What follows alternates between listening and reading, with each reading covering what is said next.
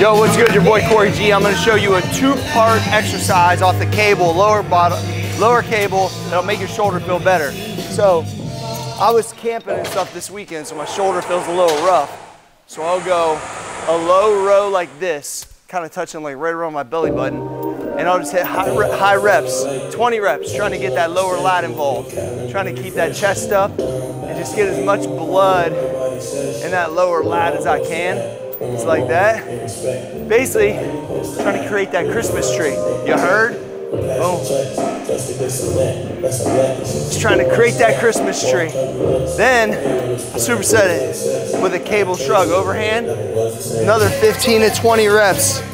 Just trying to get as much blood in that lower lat and then now in the trap to basically support that shoulder a little bit more. So my pressing today, once again, I said I was camping over the weekend over at Muscle Island. Shoulder feels a little rough. That's a two-part cable superset with the lower row. Makes shoulder feel better. Give it a try.